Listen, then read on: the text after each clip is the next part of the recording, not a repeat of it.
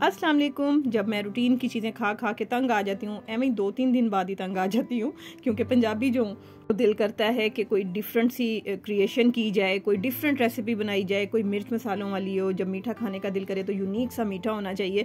तो आज इसी तरह की एक रेसिपी आप लोगों के साथ शेयर करने जा रही हूँ, जो क्विक भी बन जाएगी और बहुत टेस्टी है।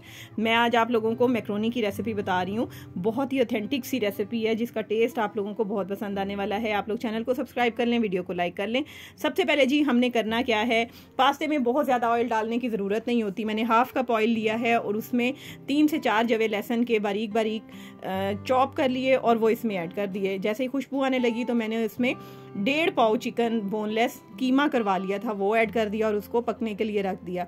चार से पाँच बड़े बड़े टमाटर लिए और उनकी मैंने पेस्ट बना ली, बहुत थोड़ा सा पानी डाल के, ठीक है ना? टमाटर जो हैं वो पास्ते की जान होते हैं। अच्छा जी इसी में ना चिकन आपका पकेगा भी। बस जब चिकन का कलर चेंज हो जाए ना, तब आपने ऐड करना है। यहाँ पे जी, वन चिकन क्यूब है, वन टीस्पून काली मिर्चें हैं पिसी हुई, वन टीस्पून लाल मिर्चें हैं दादड़ मिर्चें जिन्हें बोलते हैं, और वन टीस्पून ही नमक है, क्योंकि क्यूब भी इसमें ऐड करनी है, नमक आप अपनी टेस्ट के अकॉर्डिंग कम या ज़्यादा कर सकते हैं। कोशिश करें कि पिंक सॉल्ट ही यूज़ करें, और ये जैसे ही टमाटर जो हैं वो तकरीबन आधे हो गए पक पक के तो उसमें मैंने ऐड कर दिए ये मसाले, और साइड पे मैंने अपनी जो मैक्रोनी है, वो भी बॉईल करने रख दी थी। मैक्रोनी सबको बॉईल करनी आती है, नहीं आती तो मैं सिखा दूँगी, बता दीजिएगा।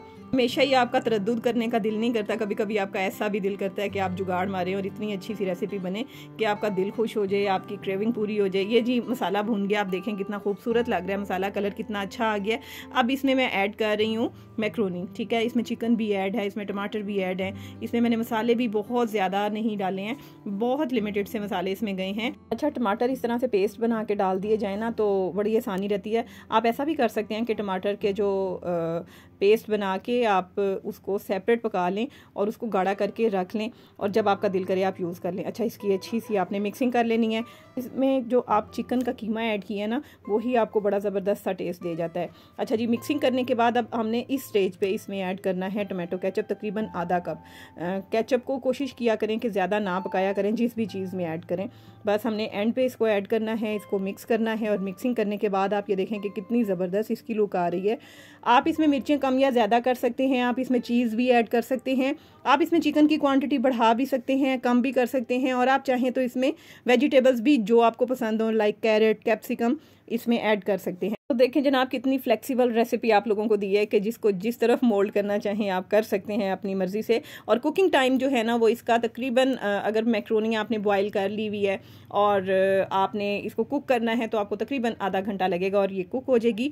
तो जी वीडियो को लाइक और शेयर ज़रूर कर दीजिएगा। रेसिपी पसंद आई है तो कमेंट में आके ज़रूर बताइएगा। और चैनल को अभी तक सब्सक्राइब नहीं किया तो कर लें। मैं मिलूँगी आपसे अपनी नेक्स्ट वीडियो में। अल्लाह हाफिज़।